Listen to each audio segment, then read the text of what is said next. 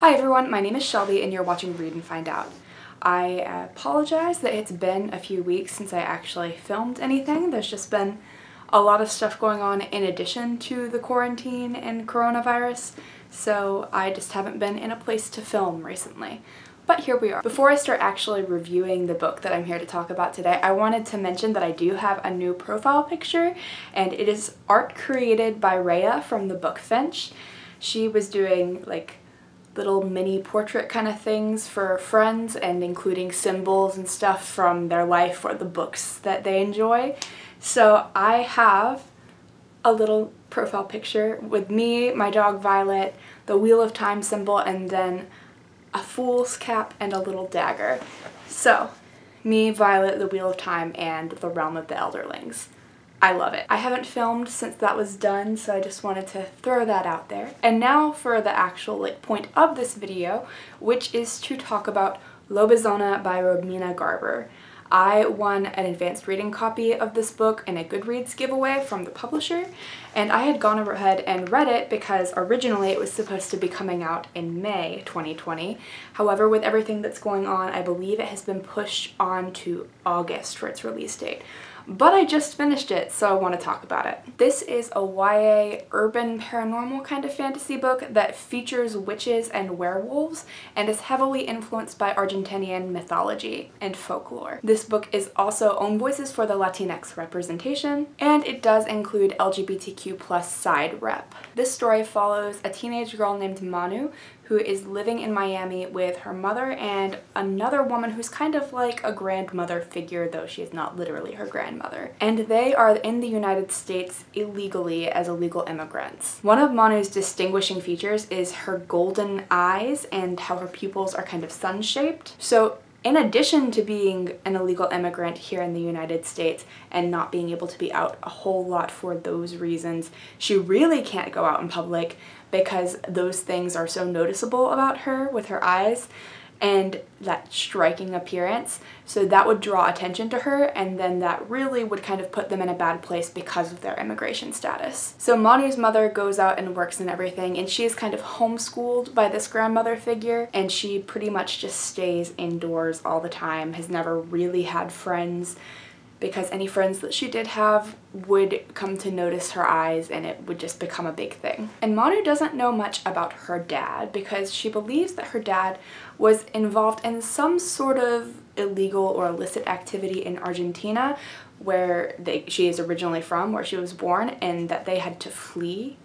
from Argentina because of his involvement in certain things and she thinks that their family is looking for her. And another interesting aspect is that for some reason Manu's period always comes with the full moon and then when that comes she's like knocked out asleep for a couple of days and she takes these pills that her mom gives her for what her mom calls lunaritis, which is basically her issue with like her period coming around the full moon and like the intensity and everything. And then obviously something's gonna go wrong because that's how book plots work and it kind of goes from there. I have started recently reviewing and talking about books in a different way where I talk about different aspects and give them their own rating and then kind of combine those to create an overall star rating.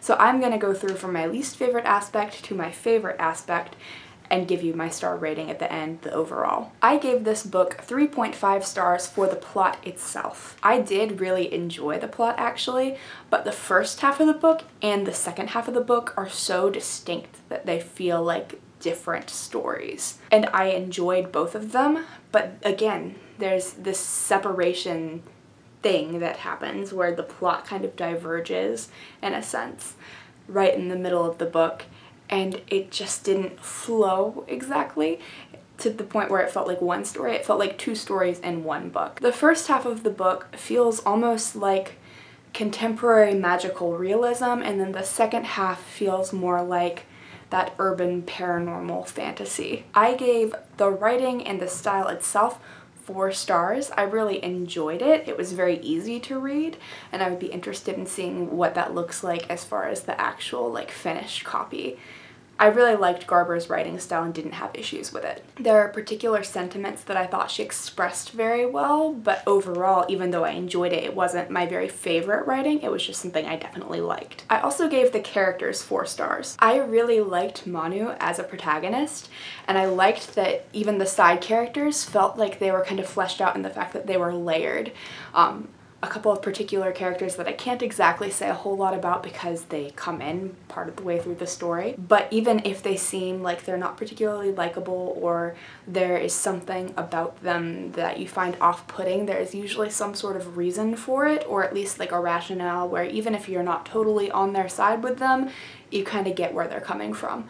So I enjoyed that in that the characters all felt like real people. And then I gave the world building in this book four stars. The Septimus as a people, who I can't really say a whole lot about, are really cool, but not without flaws, which I enjoyed because societies, even magical societies, particularly if they're predicated on a specific culture, are going to be influenced by the flaws within that culture. I also really liked seeing how Argentinian mythology and folklore played into the world building. I loved that part. Parts of this almost felt like Argentinian Harry Potter. I think I would have liked it a little bit more if it had been more fleshed out. Like how I mentioned that the book feels like two different books in one.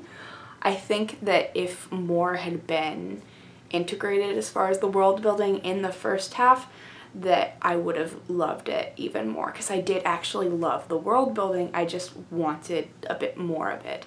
Once we get into the second half of the book there's plenty but I just I want more. It makes me very excited though to read the second book. And then finally my favorite aspect of this book was the themes that were presented.